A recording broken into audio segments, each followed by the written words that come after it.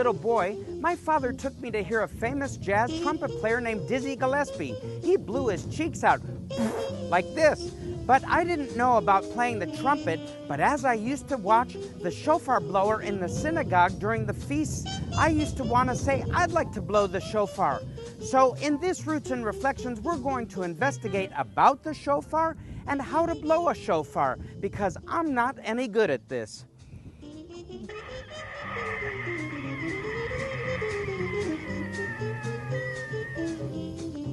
Hey, Baloo, you're my chauffeur today. Take me over so we can talk to Richard about how to blow a shofar.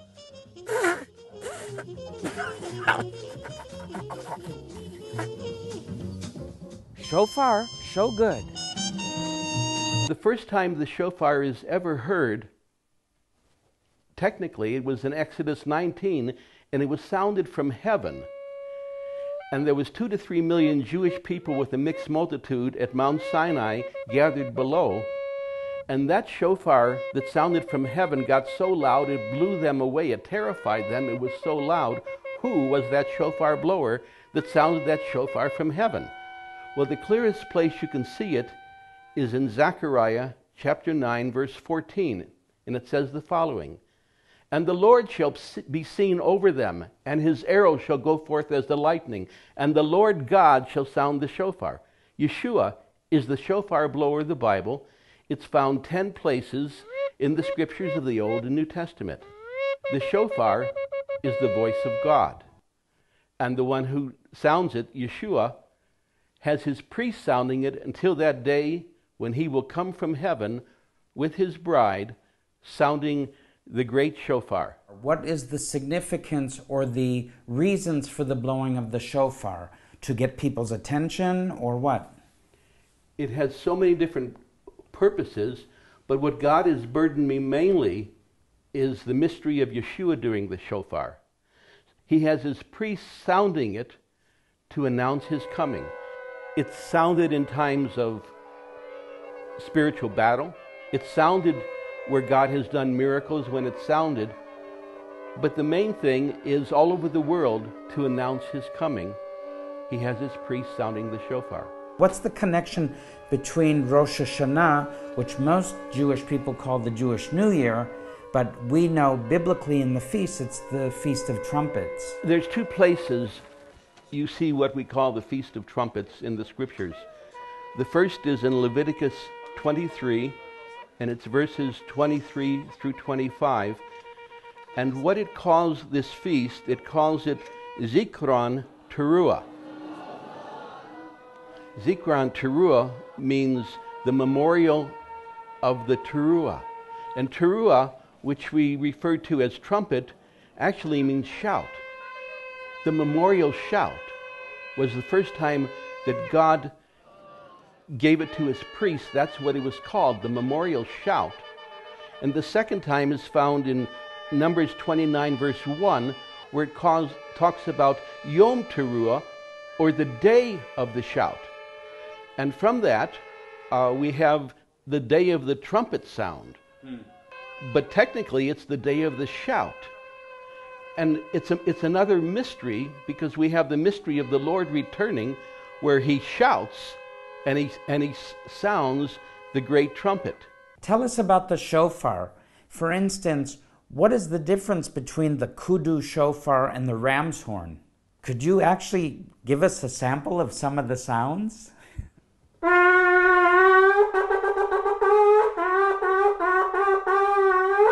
That'd be a ram horn and the kudu horn.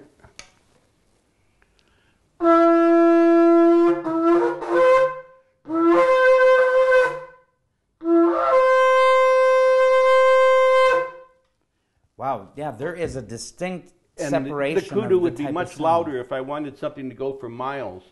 But they also used the silver trumpet. The silver trumpet was used, you had 12 tribes gathered around the tabernacle, and when the silver trumpets, when two of them were sounded, it would cause the uniting of the camp, bring the camp together into the presence of the Lord. But in Numbers 10:9, it says, When you go to war in your land against the enemy who oppresses you, then you shall sound an alarm with two silver trumpets, and you shall be remembered before the Lord your God and saved from your enemies. So it has, it has many functions, many purposes. You, can you give us an example of the sound?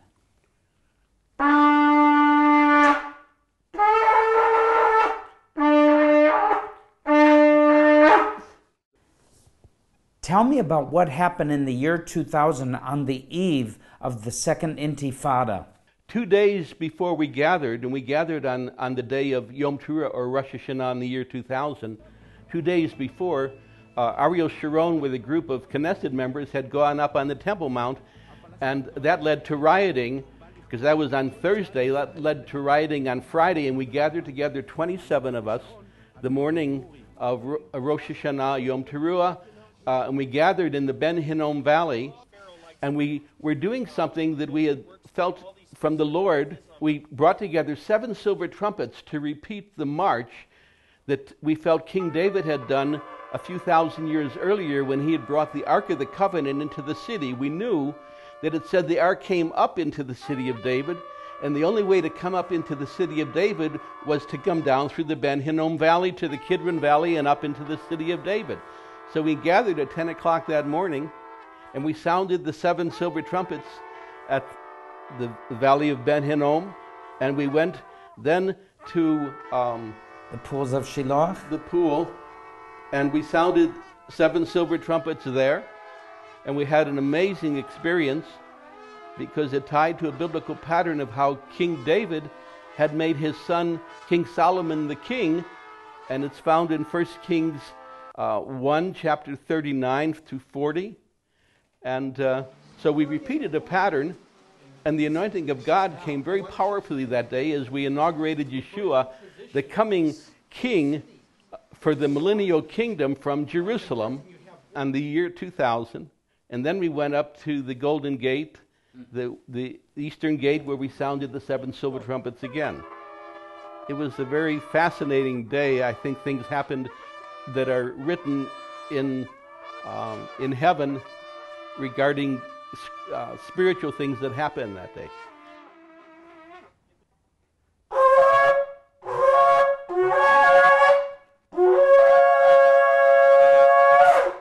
Anyway.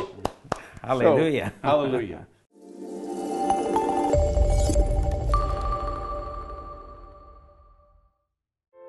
Each year, there are fewer and fewer Holocaust survivors left living among us. When the Holocaust ended, many persecuted Jews arrived in Israel and found a place they could call their home. Sadly, their troubles were far from over. A shockingly large number of Holocaust survivors living in Israel today are stricken by poverty and loneliness, with no families to care for them. Due to financial distress, many must choose between heating their homes for the winter or buying food and medicine. It is our mission to reach out to these beloved ones and show them through our actions that we care for them by providing for them physically, financially, and emotionally. Whether by financial aid, heaters and blankets in the winter, or multilingual social gatherings, we strive to bless them with fellowship, community, and care.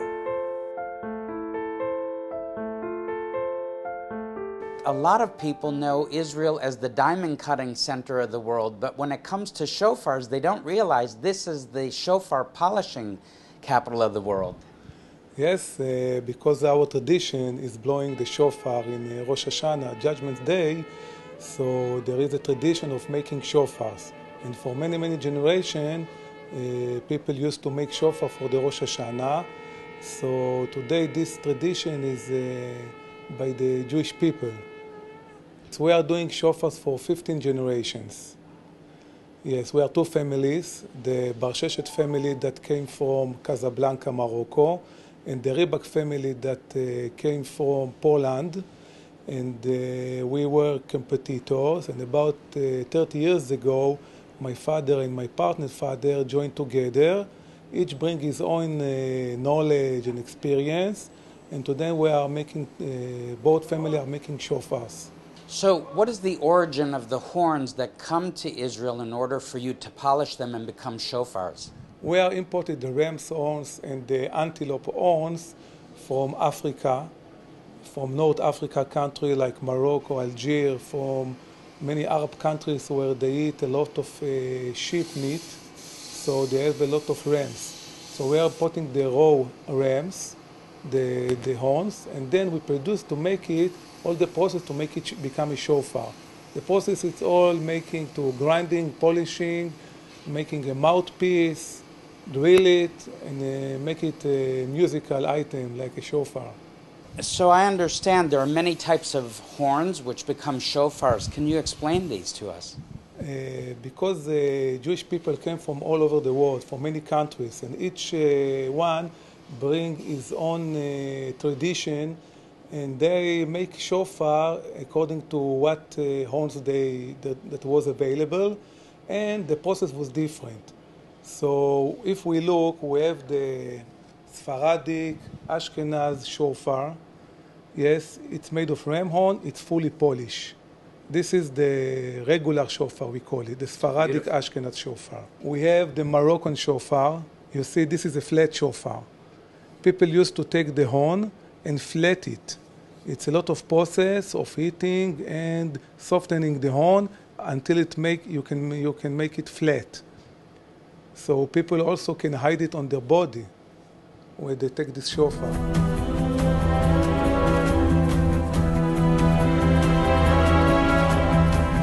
This is shofar, uh, we call it Italian shofar. This type of shofar, it's made for a special goat. It's not a ram. Yes, people from Italy used to blow this type of shofar. We have a Babylon shofar. People that came uh, from Iraq, Kurdistan, uh, they used to blow this type of shofar. We have the Yemenite shofar. This is Rem Yemenite. This type of shofar, no change of the shape of the horn, and we leave it naturally, fully mm. natural. You have a special sound because it's natural. And we have what we called Yemenite shofar or antelope kudu shofar that usually people blow it for ceremonies. I show you the different sound of the shofar. For example, this is the regular Sephardic shofar.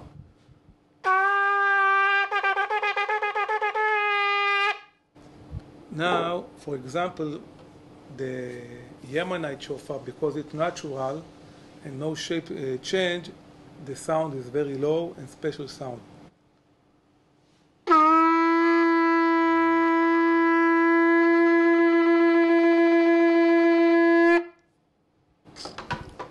And uh, this is the Italian shofar, also a different sound.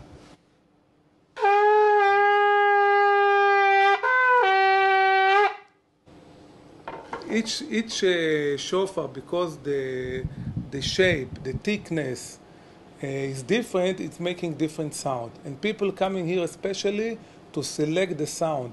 They want the authentic sound, what they used to hear at their father and their father father uh, synagogue. Now, I remember when I was bar mitzvahed, and I remember at uh, synagogue that they were blown from the side. The cantor blew it from the side of his mouth, whereas I see a lot of Westerners trying to blow it as a trumpet. Yes, uh, it, people uh, try uh, differently. People that used to blow, uh, play music, they blow it from the center. But there is some mitzvah the saying that uh, to blow from the right side, because we want to start the year on the right side. So people uh, trying to blow from the right side. That's interesting. That's the first time I heard that. well, I, I wanted to be a shofar blower because I used to see a trumpeter named Dizzy Gillespie play, but I ended up playing guitar in the end. So, do they all come like this? No, we have this is the ram horn, Right. but the ram horn is growing on the animal head. Oh, I see. Yes, part of the bone is going inside, and part of it, part of it on the head. Yes. So after they kill the animal for the meat, for the skin, we are taking the horns by removing it from the from the head, taking the bone out, and then we have the raw horn. Yes. The problem is that it's not fully open. It's open about until third of it it's open. Then we have to straight this section in order to drill it. Yes? So the next process after we are taking the, the horn, you can see this is also a horn. After we straight it, we heat it and it becomes soft and then we can straight it. After that, the process is to start grinding. You see after it uh, removing the outer uh, surface, you can see the shofar, the, the color of it, yes, and now it is ready for the next step. It's, a, it's involved a lot of steps of, uh, from rough grinding to fine grinding until we get it very, very polished. And at the end, we cut it, we drill it, and make a mouthpiece. This is, the, in general, the process of making shofar.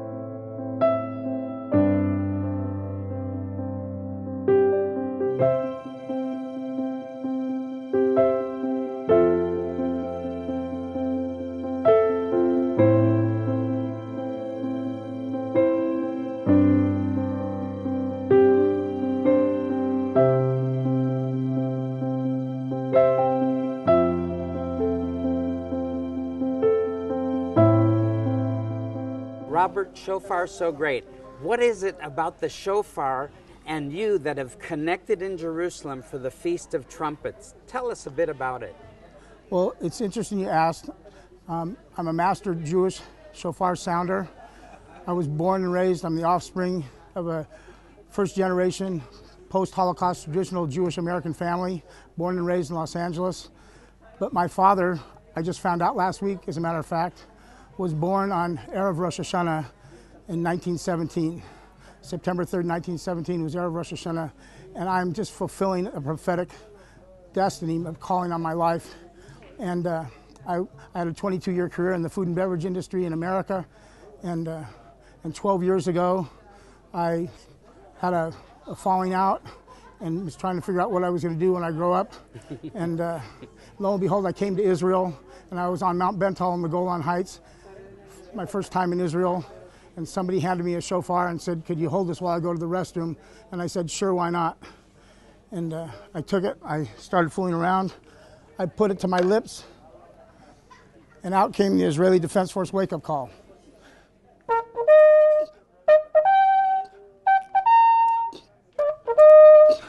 And the next thing I know, there's 15 Israelis surrounding me with flashbulbs going off cheers and applause, and there was a 5.3 earthquake, and I got anointed of God to sound the shofar.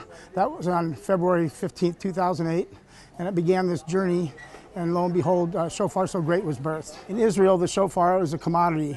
In every shop and shuk and uh, store that you go, there's a little basket of them like this, and they sell them by the size. If it's this big, it's this much, and if it's this big, it's this much more, and if it's this big, it's the most. But God has given me a, a new paradigm and what I do is I go to the factory of the founding family of Shofar, uh, who've been doing it for generations, and I test a thousand of them to find 50 that have the sound of heaven. Wow. And so I've been given the gift not only to be able to sound at least five notes in harmony, but to make melodies. I've gotten about 50 different melodies, and, and I find the shofars that are anointed ones that can make music. So this is uh, the traditional ram's horn. This is what is sounded in the traditional uh, Jewish synagogues on uh, on Rosh Hashanah. In Leviticus 23 23, it says, On the first day of the seventh month, it shall be for you uh, a holy convocation, a day of rest and no work, a day of blowing, a Yom Teruah, and it shall be a memorial unto you. And what that means is that um, we're to turn back, we're to cry out to God in repentance.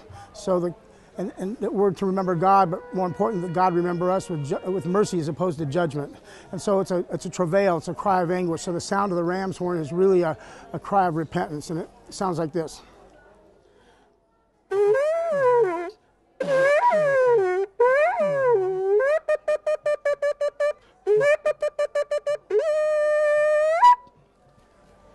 So is this what's known as Yom HaTruah? It's Yom Teruah. It's a day of blowing. It's, it, we're commanded to hear the sound of the shofar. And traditionally, in the Jewish synagogues, you know, there's been one um, who's been given the honor to be the Baal Tekiah, the Rosh Tekiah, to, to sound the shofar that we would all hear the sound. And there's a, a trope. There's like a hundred shouts that are that are released, 100 blasts that are released, and it's the preparing for Moshiach to come. I believe one day on Rosh Hashanah or Yom Kippur, on that hundredth blast, the Tekiah Gedolah, uh, we look up. We're looking for Moshiach to come. As I hear the sounds of people worshiping also in the background, would you be able to give us an example of that Yom HaTruah? Sure. I've been given the gift to sound a double shofar, a double portion anointing to sound two at once in harmony. So I'll, I'll do that for you. This is the uh, this is the Yemenite shofar. You know, the shofar is comes from any kosher animal except one. There's there's one kosher animal that you cannot make a shofar from, and do you know what that would be? No. It, it's the cow because of the golden calf. Wow. So un- unless there's no other horn, a kosher horn around, you can only use a cow's horn in, in that instance. But uh, this is the gr- horn of a greater kudu. It's an African antelope. So when the Jews were out in the diaspora, when they they were uh, went into exile, wherever they were, that kosher animal became the shofar. These come from Africa. It's the greater kudu, and it's more melodic. I can make at least five notes, and, and I believe I showed you the, the one sounds like, but the two in harmony is like this. And, and this is the call, the tekiah.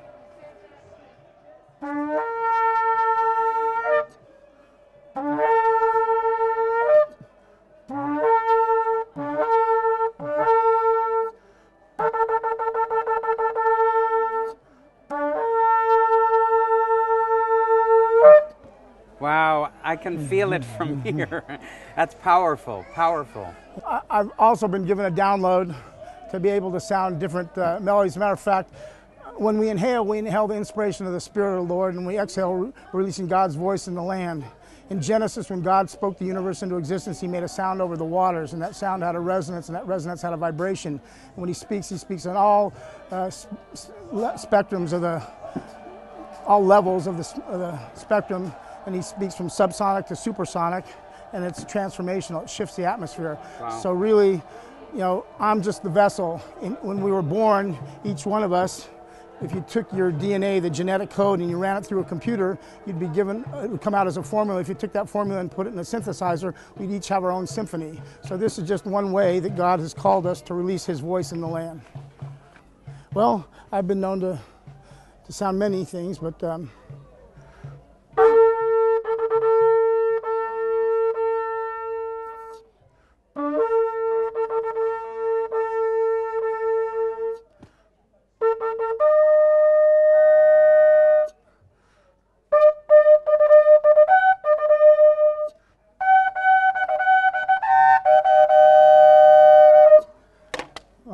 shout for the Lord. Vayomer Yeshuat Hamaru Harui. Joshua said, shout for the Lord. That's so powerful, so powerful. It's like a call to war or a call to summon uh, the king. Well, it, it, that's what it is. It's, a, it's, it's the coronation of the king. I believe this is the sound that we'll hear when Mashiach comes.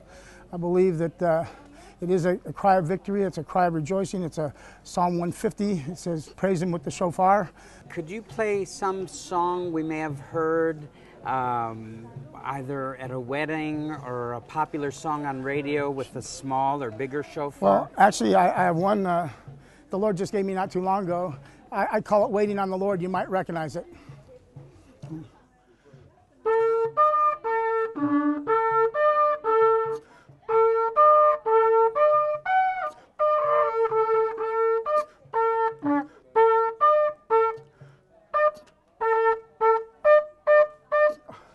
You'd have to watch a, a television game show to know that one.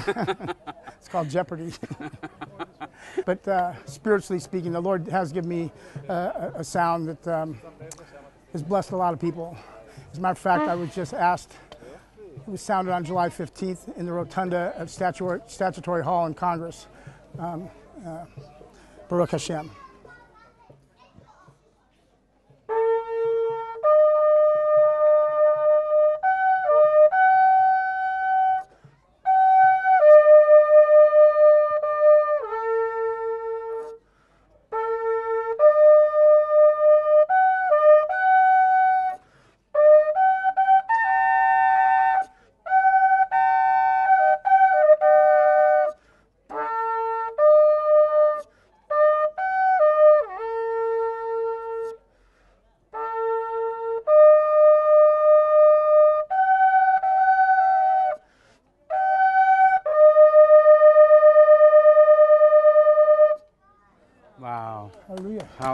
Powerful. Call like a bow. Powerful. I'm, I'm going to give you 20 seconds of technical advice. I'm going to say a prayer over you. I'm going to anoint you with oil.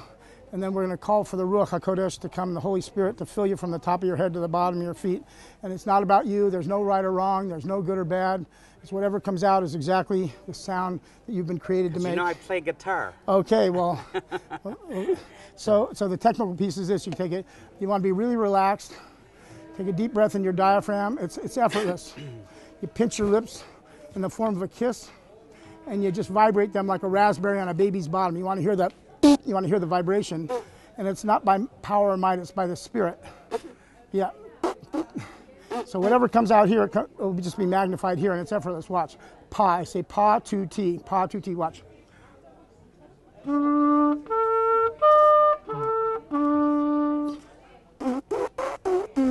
Okay? So with that, I'm going to say Baruch atah Adonai, Eloheinu melech olam, asher kiddushanu b'mitzvotav, v'tzivanu l'shmoah kol shofar. Blessed art thou, Lord our God, ruler of the universe, who sanctifies us with his commandments and commands us to hear the voice of the shofar. Ashrei ha'am yodei teruah Hashem bior v'yelechun. Blessed are those people who know and understand the sounds of the shofar. They shall walk in Hashem's light. Amen. Amen. So say, just say, uh, say, help me, Hashem. Help, help me, Hashem. Tazorli, Abba. Bo Ruach HaKodesh. Baruch HaKodesh. Whatever comes out is perfect. Amen.